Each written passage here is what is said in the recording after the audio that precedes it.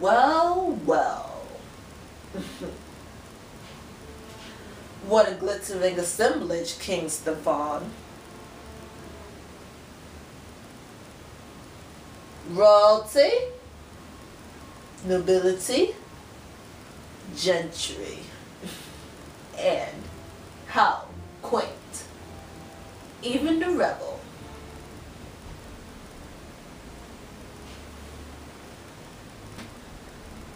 I must say, I felt quite distressed of not receiving an invitation.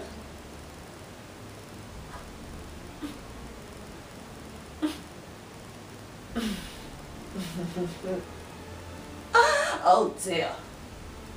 What an awkward situation.